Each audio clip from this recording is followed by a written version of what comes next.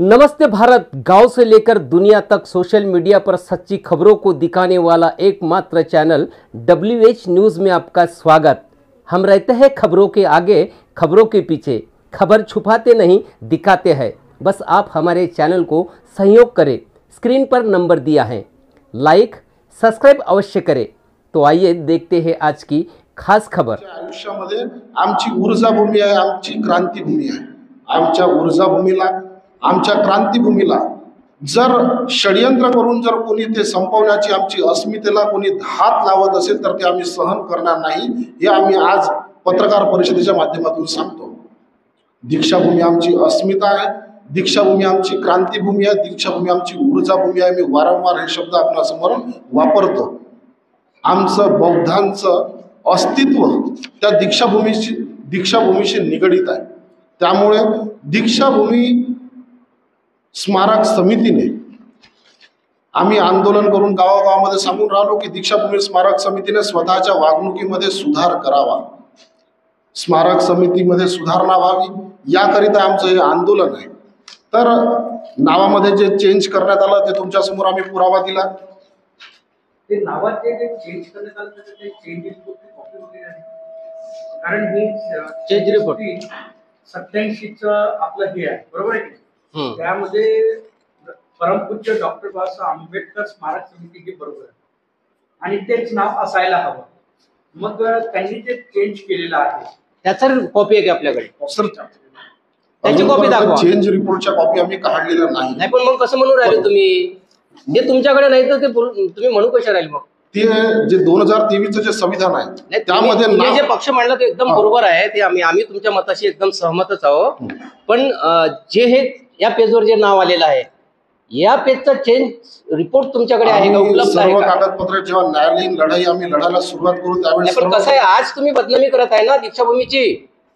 मी सर्व कागदपत्र घेऊन आलो नाही, याचा दीक्षा- कागद दाखवा चेंज रिपोर्टचा कागद दीक्षा- दाखवा. दीक्ष- कोणताही पत्रकार म्हणून प्रश्न विचारा बदनामी करण्याचा हे बोलण्याचा अधिकार तुम्हाला पत्रकार नाही पत्रकार म्हणून. प्रश्न विचारा आम्ही सर्व भूमिका घेऊन पत्रकार म्हणून विचारतो आणि एक समाजाचा घटक म्हणून पण विचारतो सर एक समाजाचा घटक म्हणून पण विचारतो समाजाचा जर घटक म्हणून विचारायचा तर हो. दीक्षाभूमी समोर या तीन मार्चला आणि जर तुम्ही पत्रकार म्हणून जर विचारत. असेल तर मी तुमच्यासमोर आहे. संविधानाची सर्टिफाईड. कॉपी आहे सर्टिफाईड कॉपी सर्टिफाईड. कॉपीचा अर्थ काय होतो हे मान्य करतो हे जे कॉपी तुम्ही आम्हाला सांगत आहे दोन हजार तेवीस ची याच्या चेंज रिपोर्टची कॉपी तुमच्याकडे आली आहे हे संविधानाची जर कॉपी आहे या संविधानाच्या कॉपीवर जर स्पष्ट संस्थेचं नाव लिहिलं आहे तर यापेक्षा अजून तुम्हाला कोणता पुरावा पाहिजे बरोबर नाही नाही हे इथे जे बदललं गेलं आहे ना हे कोणी आधारावर बदललं गेलं ते हे. सर्टिफाईड कॉपी आहे की नाही हे सांगा ते बरोबर आहे. सर्टिफाईड कॉपी जर आपल्यासमोर आहे तर मग तुम्ही सर्टिफिकेट कॉपीवर सगळं बरोबर आहे एकदम असे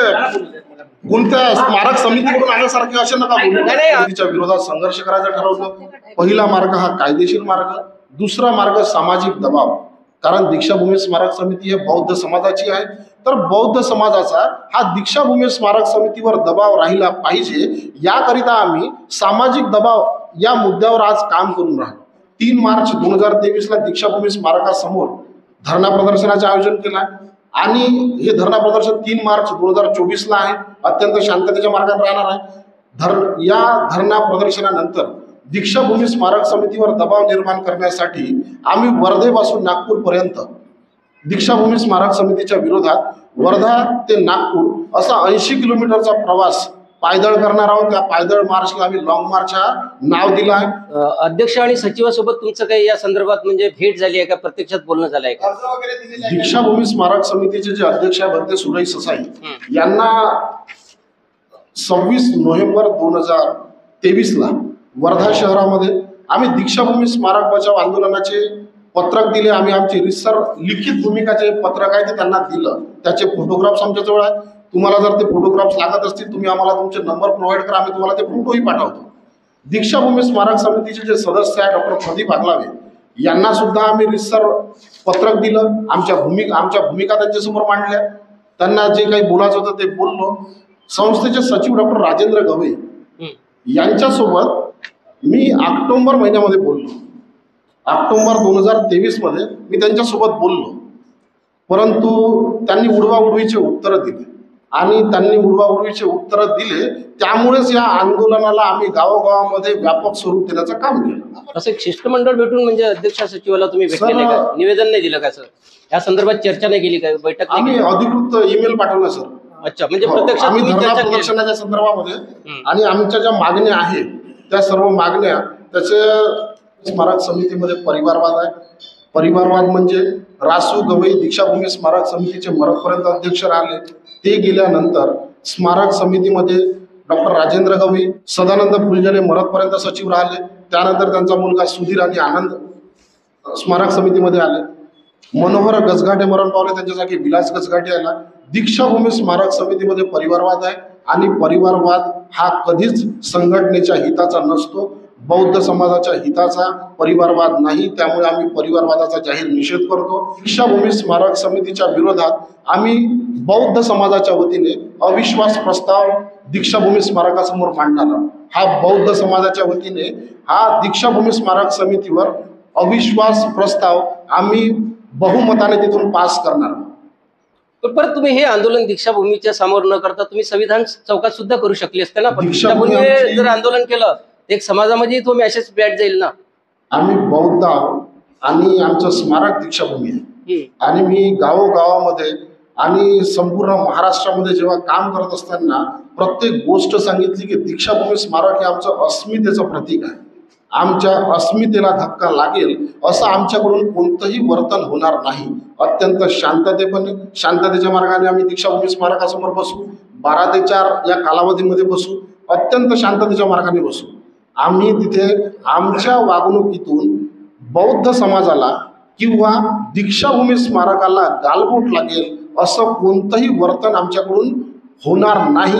हे मी सर्व स्मारक समितीला बौद्ध समाजाला आणि पोलीस प्रशासनाला सुद्धा सर्वांना सांगितलं. पोलीस प्रशासनाची मग तुम्हाला तिथे परवानगी देण्यात आली आहे अर्ज केला आहे. जर समजा पोलिसांनी ते परवानगी नाकारली तर मग आम्ही अर्ज केला आहे. नाही पोलिसांनी जर आम्ही अर्ज केला. तर मग आंदोलन होईल का तुमचं? आम्ही अर्ज केला. नाही, नाही अर्ज जर तुमचा नाकारला गेला तर तुम्ही आंदोलन तिथं करणार का? हे तर सांगा. आम्ही अर्ज केला आहे तीन तारखेपर्यंत. वार्ताहर परिषद झाली. त्यानंतर ही काही संघटनांनी दीक्षाभूमीवर आंदोलन करण्याचा निर्णय घेतला.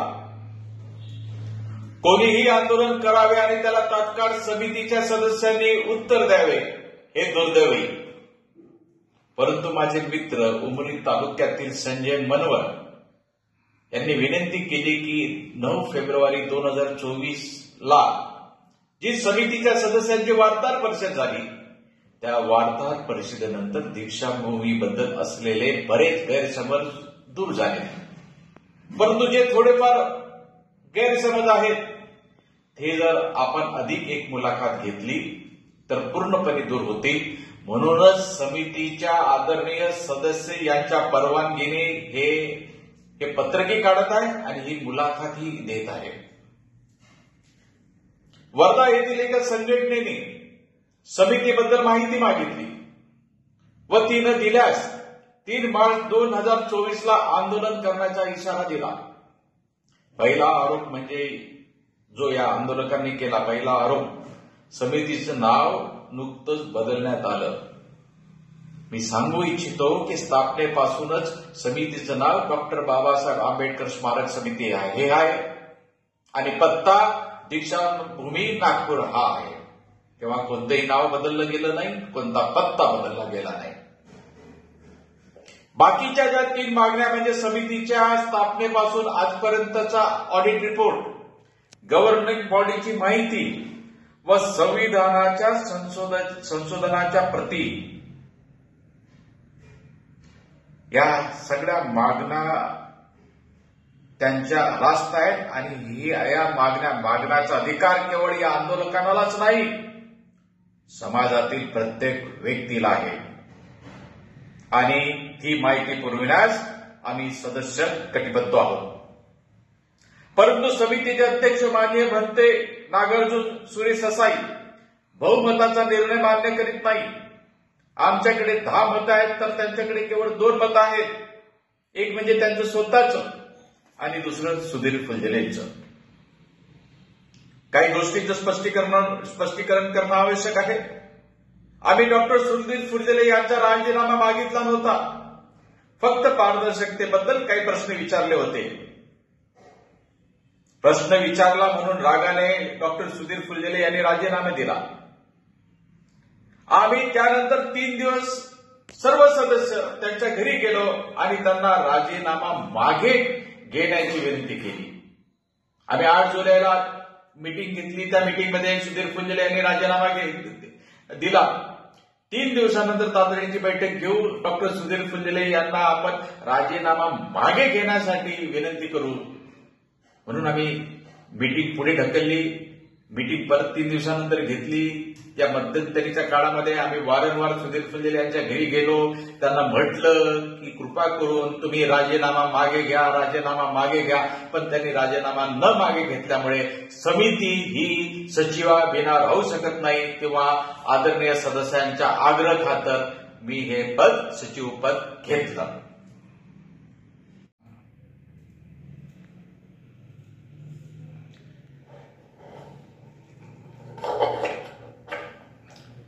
जेव्हा मी सचिव झालो तेव्हा माननीय भत्तेजींनी समितीच्या संबंध- संबंधित असणारे सर्व बँक खात्याचे अधिकार त्यांच्या स्वतःकडे ठेवले.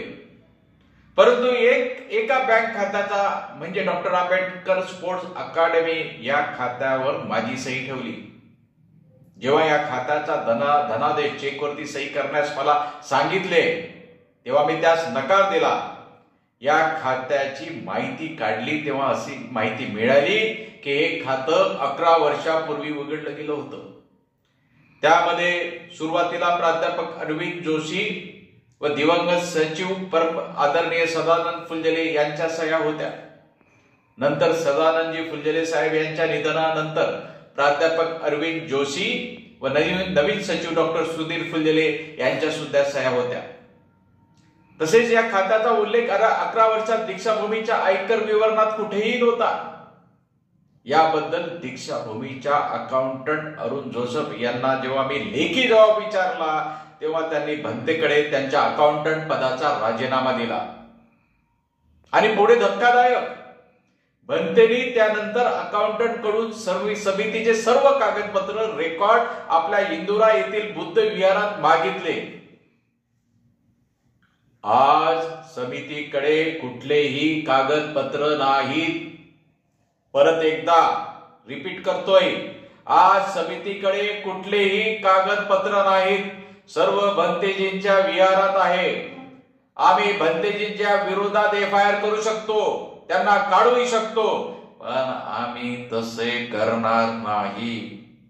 कागदपत्र वापस केल्यास समाजाला सर्व माहिती ऑडिट रिपोर्ट गव्हर्निंग बॉडीची माहिती इतर माहिती सगळी देऊ तेव्हा आम्हाला विन आमची विनंती आहे बनतेजींना की सगळं रेकॉर्ड दीक्षाभूमीचा गेल्या कित्येक महिन्यापासून जो तुमच्याकडे आहे तो वापस करावा. अजून एक प्रश्न जो या आंदोलकांनी घेतला नाही तो म्हणजे समितीच्या वरती नावावरती सातबारा नाही. समाजाने कसलीही काळजी करू नये. सगळे कागदपत्र व्यवस्थित आहे. आणि समिती ही समाजाकडेच आहे दीक्षाभूमी ही समाजाकडेच आहे आणि दीक्षाभूमी ही इथेच राहणार. शेवटी माझा या आंदोलन करणार आंदोलन करणाऱ्यांकडे विनंती राहील. जे लोक आंदोलन दीक्षाभूमीवरती करीत आहेत त्यांना विनंती की दीक्षाभूमी समोर आंदोलन करू नका. दीक्षाभूमी हे पवित्र स्थान आहे. मी रिपब्लिकन पार्टी ऑफ इंडियाच्या सरचिटणीस या नात्याने अनेक आंदोलनं केले. मोठ्या मोठ्या जंगी सभा घेतल्या. परंतु त्या मध्ये लाखो लोकही आले. परंतु त्या ते आंदोलन त्या सभा मोठ्या मोठ्या मैदानात घेतल्या. तेव्हा आमच्या विरुद्ध आपली तक्रार असेल तर त्याला देण्यास आम्ही त्याला उत्तर देण्यास आम्ही समर्थ आहोत. तुम्ही कोणते प्रश्न विचारा आम्ही उत्तर देऊ. तसेच भंतेजींनी समितीचे कागदपत्र वापस दिल्यास आम्ही जे जे काही कागदपत्र मागितले तेही देऊ. पण या पलीकडे जर तुम्ही जिद्दीलाच पेटला आणि आंदोलन जर दीक्षाभूमीच्या मैदान समोर केलं मैदानात नाही केलं तर आम्ही त्याला स्वस्त लोकप्रिय लोकप्रियता समजू चीप पॉप्युलरिटीसाठी समजू. आपण आंदोलन करा मोठ्या मोठ्या मैदानात आपली ताकद दाखवा. आणि शेवटीच आमच्या सदस्यांच्या विनंतीनुसार आम्ही पन्नास दिवसाच्या आत ही सूचना मला परमपूज्य डॉक्टर बाबासाहेब आंबेडकर समितीच्या सदस्यांनी केली की पन्नास दिवसाच्या आत समाजातील मान्यवरांना आम्ही निमंत्रित करू आणि दीक्षाभूमीच्या विकासासाठी आणि दीक्षाभूमीच्या पारदर्शकतेसाठी आम्ही त्यांच्याकडून सूचना सूचना घेऊ परत त्यांच्यासोबत चर्चा करू. जय भीम जय भारत. दोस्तों आपने खबर देखी आपका शुक्रिया। तो यह थी आज की खास खबर। कल फिर मिलेंगे खास खबर के साथ। तो हमारे चैनल को लाइक, सब्सक्राइब करें। खबरों के नोटिफिकेशन के लिए बेल आइकन दबाएँ। तमाम खबरों के लिए www.whnews.in पर भेंट दें। हाँ ज्वाइन बटन पर जाकर हमारे चैनल के सदस्य बने और हमें आर्थिक सहयोग करें। धन्यवाद।